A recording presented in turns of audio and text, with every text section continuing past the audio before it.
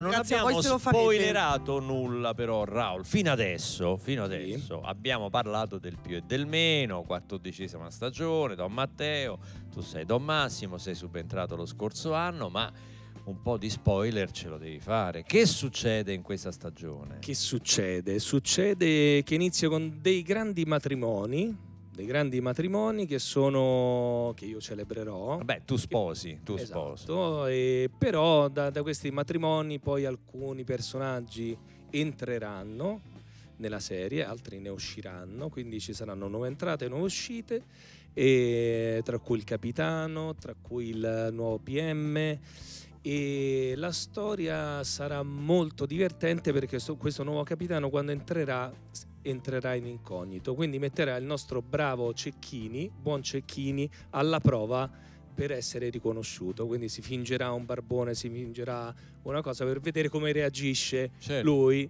E, mentre invece Don Massimo avrà una, um, una prova molto difficile perché al di là del, del suo lavoro quotidiano, eh, di andare in classe, farà religione con i ragazzi, che è una cosa molto bella, eh, li porterà in gita e con i bambini più piccoli racconterà delle cose molto belle, molto romantiche, molto sulle stelle, sul cielo, sull'etimologia di alcune parole, eh, come sider, sideris, eh, desiderio, no? dal desiderio praticamente... Attenzione, è il Eh. momento Super Quark di Dai! Raul Bova. Bravo, no, no, è- Attenzione, è, è attenzione. bella questa cosa. che il desiderio arriva dalla parola Quindi sider, sider, Quindi sedere, diciamo, il desiderio arriva No, dal è- sedere. è Spesso sedere, succede. sider, Luca! sider, Ah, sider. stella, stella, Francis, quindi guarda. chi desidera, diciamo il desiderio arriva dalle stelle, da chi guarda le stelle. Quando c'era qualcosa si guardavano le stelle. Quando si dice distanza siderale, no? Desidera, de è la radice di allontanamento, il latino è- sarebbe praticamente allontanarsi dalle stelle, ovvero...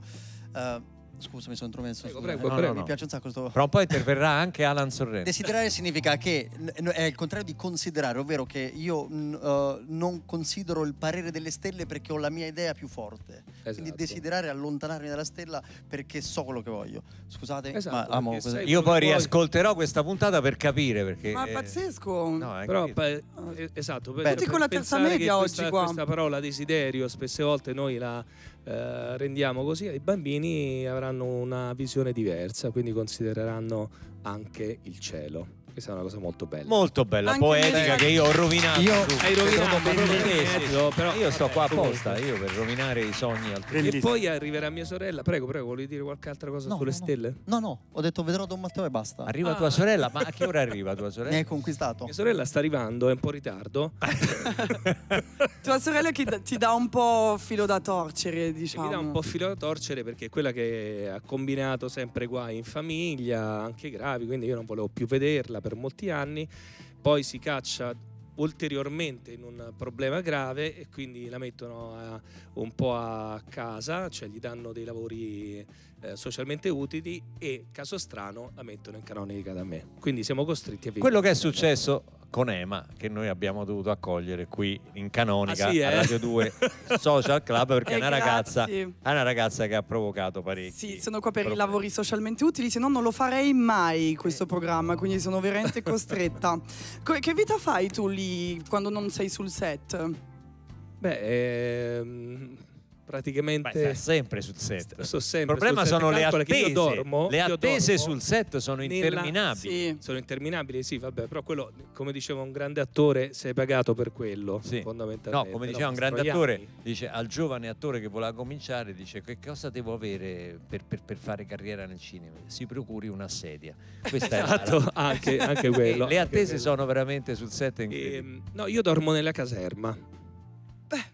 Cioè, Dormi nella caserma? Dormo nella caserma, Sì. nel palazzo che è stato arredato a caserma, quindi mi vado a mettere Non in tutti, cella. non tutti i preti dormono in caserma, eh, va È vero. detto. la mia celletta. Non tutti i preti dormono in caserma. Vabbè, No, no, questo- veramente, sto lì e niente, contemplo fino al giorno dopo. Beh. Però ragazzi, qua c'è del sexy sul sexy, a Raul Bova dorme in caserma, molto bene. Ascol-